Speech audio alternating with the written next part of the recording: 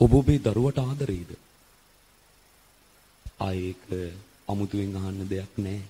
ඔබට මතකද ඔබේ දරුවට යම් අසනීපයක් වෙලා ඔබේ දරුවන්ට තුවාලයක් වෙලා ඔබ ගාවට දුවගෙන ඇවිල්ලා ඔබ ගාවට දුවගෙන එන අවස්ථාව ඔබට මතකද?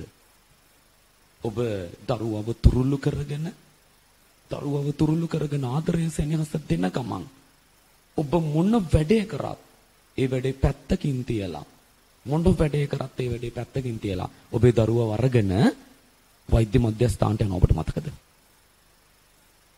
ඔබ සමහර විට වෛද්‍ය මධ්‍යස්ථානට යන්න ඇඳගෙන හිටපු ඇඳුම කියන්නේ ඇඳගෙන හිටපු ඇඳුම එතෙන්ට යන්න සුදුසු එකක් නෙවෙයි. එතෙන්ට ගියාට පස්සේ ඒ අදාළ ප්‍රතිකාරය කරාට පස්සේ තමයි ඔබ දන්නේ මේ ඇඳුම එතෙන්ට සුදුසු එකක් නෙවෙයි. ඇඳගෙන ගිහිල්ලා තියෙන සරම බොහෝ විට ෂර්ට් එකක් නැතුව ළමයා උස්සගෙන ගිහිල්ලා තියෙන්නේ. ඒ තමයි දෙමව්පියෝ. ඒ තමයි දෙමව්පියෝ. මට මතකයි මම එක්තරා කණ්ඩායම් පන්තියක් පටන් ගන්නවා ගෲප් ක්ලාස් එකක් පටන් ගන්නවා මේ පටන් ගන්න ගෲප් ක්ලාස් එක තුල මම ඒකට ආපු හැම ළමයෙකුගෙන් අහනවා ආරම්භක සම්මන්ත්‍රණයේ දවසේ හැම ළමයෙකුගෙන්ම මම අහනවා පුතා ඔයාගේ පන්තියේ ඉන්න දක්ෂම ළමයා කවුද ඔබේ පන්තියේ ඉන්න ඔබේ පන්තියේ හිටපු දක්ෂම දරුවා කවුද ඕ ලෙවල් ප්‍රතිඵල ආවට පස්සේ මේ ළමයි එන්නේ ඒ ලෙවල් කරන්න ඒ හැමෝම එක එක නම් කිව්වා. එක එක නම් කිව්වා. ඒ නම නම් තුල තමන්ගේ නම කිසිම තැනක ගෑවිලා තිබෙන්නේ නැහැ. මේ ආරම්භක සම්මන්ත්‍රණයට දෙමෝපියෝ ඇවිල්ලා ඉන්නවා. අපි අවස්ථාව දුන්න දෙමෝපියන්ට පිටිපස්සේ ඉඳගෙන ඉන්න. දෙමෝපියන්ට පිටිපස්සේ ඉඳගෙන ඉන්න අවස්ථාව දෙනවා. මම දරුවන්ගේ නොක්කෝගේ මහල මේක ගෲප් ක්ලාස් එකක් අහන්න පුළුවන්.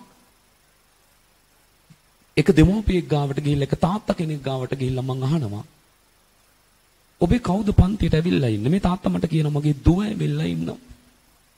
මගේ දුව ඇවිල්ලා ඉන්නවා. මං ඇහුවා ඔබේ දුවගේ පන්තියේ කවුද දක්ෂම ළමයා? මේ තාත්තගෙන් මං අහන්නේ.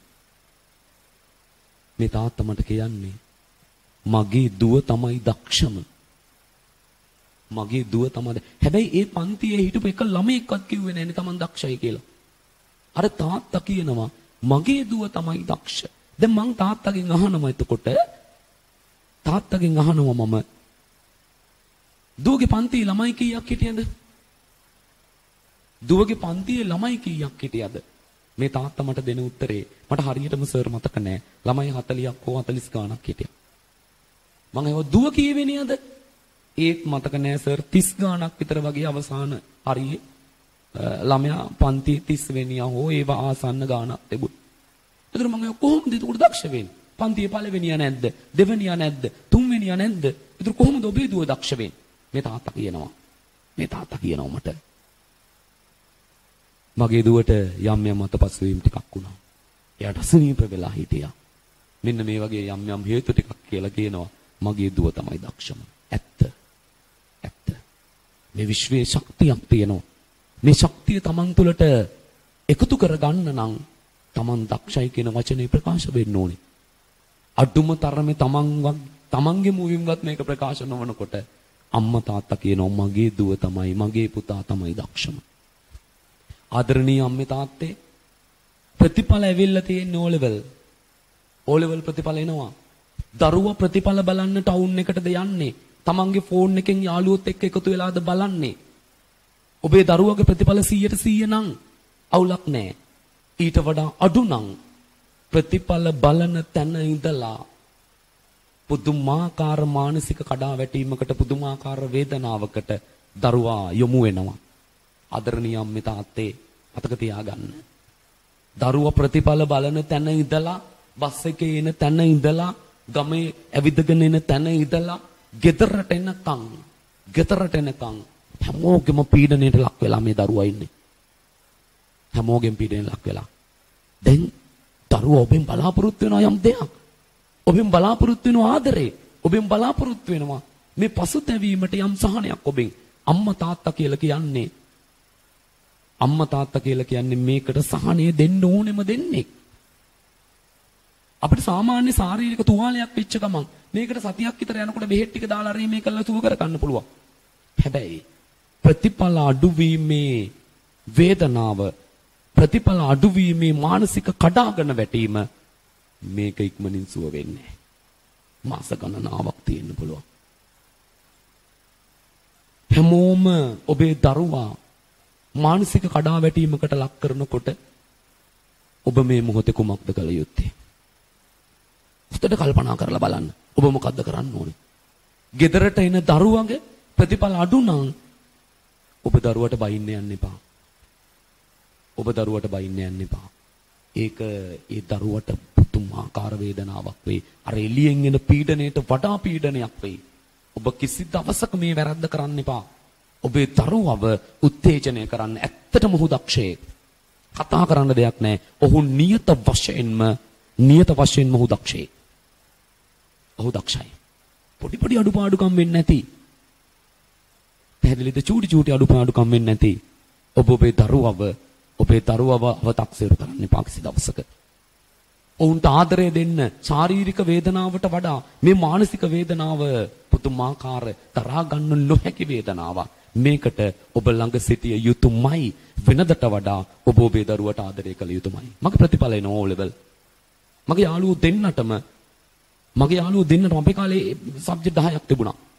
ඒ 10 ගානේ තිබුණා. මට එහෙම තිබෙන්නේ. මට තිබේ A2යි B1යි C4යි S3යි. මටත් ඔය හැම තැනින්ම එන්නේ එන මිනිස්සයා බස් එකට නැංගට පස්සේ අහන්නේ. බස් එකේ අපේ කාලේ යන්න ටවුන් එකට ගිහලා ප්‍රතිඵල බලන්න ඕනේ. ඒ බලන තැන ඉඳලා ගෙදරට එනකන් හැම මිනිස්සයාම අහන්නේ මගේ අඩු ප්‍රතිඵලය ගැන. ඔබේ දරුවට ගණන් වලට S එකක්ද? ඔබේ දරුවට ඉංග්‍රීසි වලට S එකක්ද? ඔබේ දරුවගේ ඒ සාමාර්ථය ගැන අහන්නේ නෑ නෑ සමාජය අහන්නේ ඔබේ දරුවගේ පල්ලෑම සාමාර්ථය ගැන. හිතන්න ඔබේ දරුවට ඉංග්‍රීසි වලට S එකක්.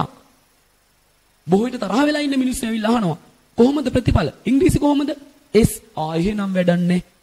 මේ වගේ මානසික පීඩනයන් වලට ළමයා මුහුණ දෙනවා. මේ කාලේ ළමයා ආරක්ෂා කරගන්න.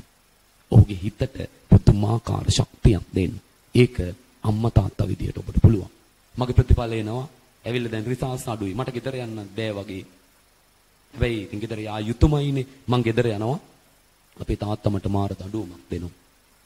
මම මගේ ජීවිතේට හිතන්නේ නැති අපිට නිකන් එහෙම දෙයක් සිතුවිල්ලක්වත් එන්නේ නැති විදිහට අපේ තාත්තා මට දඬුවමක් දෙනවා. මේ දඬුවම තමයි. මං ගෙදර වැටගාවට ගියාට පස්සේ ගේට්ටු නෑ අපේ. වැටගාවට ගියාට පස්සේ තාත්තා දුවගෙන එනවා. මං හිතන්නේ දෙයි දෙකක් අල්ලගෙන කියලා. නෑ. අපේ තාත්තා මාව උස්සලා කරේ තියාගෙන මහ ලොකු මිනිස්සෙකුත් නෙවෙයි. චූටි මිනිස්සෙක්. උස්සලා කරේ තියාගන්නවා. කරේ තියාගෙන ගේ වටේ රවුන්ඩ් එකක් දුවනවා. මට මගේ ජීවිතේ දැනුණ ලොකුම වේදනාව එදා දැනෙනවා. ප්‍රතිඵල අඩුවීම නෙවෙයි මගේ වේදනාව. අපේ තාත්තා ප්‍රතිඵල අඩු වෙලා තියෙන කොටත් මාව කරේ තියාන ගේ වටේ දුවනවා. මගේ ඇස් වලට කඳුළු වෙනවා. මම ඉතා කල්පනා කරනවා. අපේ තාත්තා මේ මට ප්‍රතිඵල අඩු බව දැනගෙනත් මේ මගේ හිත හදන්න කරන දේ නිසා මං කොහොම හරි කොහොම හරි විශ්වවිද්‍යාලය යනවා කියලා හිතලා මහන්සි වෙලා වැඩ කරනවා. ඒ තාත්තා මට දීපු දඬුවම රෑ වෙලා හොඳට වෙලා කන්න දෙනවා. හොඳට වෙලා කන්න දෙනවා. තාත්තා ගැහුවේ නෑ මට. ගැහුවා නම් මම විශ්වවිද්‍යාලය යන්නෙත් නෑ. නියම දඬුවමක් අපේ තාත්තා මට දෙන්නේ මං නවතින්න විශ්වවිද්‍යාලය ගිහිල්ලා. මං නවතින්න විශ්වවිද්‍යාලය ගිහිල්ලා. ඔබේ දරුවටත් ටිකක් හිතලා ඔබේ ආවේගයෙන් ඔබේ ආවේගය නැති කරගන්න, ඔබේ තරහ නැති කරගන්න දඬුවම් කරන්න එපා දරුවට. ඔබ අනිවාර්යයෙන්ම ඔබේ දරුවට දඬුවම් කළ යුත්තේ ශාරීරික නොව ඔහු ඔහුගේ අනාගතේ නිර්මාණය කිරීම කාර්යයට සහයෝගයක් වෙන දඬුවමක් ඔබ දෙන්න. අලුතින් හිතන්න පටන් ගන්න ආදරණීය අම්මේ තාත්තේ. අලුතින් හිතන්න. ඔබ මේ වීඩියෝ එක බැලුවා. ඔබ මේ තුලින් යම් දෙයක් ගත්තා නම් තව දරුවෝ ඇති ඇති තරම්, තව දෙමෝපියෝ ඇති ඇති තරම් මේක නොසිතන ඔවුන්ටත් බලන්න මේ වීඩියෝ එක ෂෙයා කරන්න. ඔවුන්ටත් බලන්න ෂෙයා කරන්න.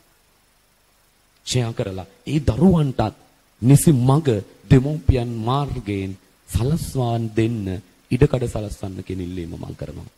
හැමෝටම සුබ දවසක්.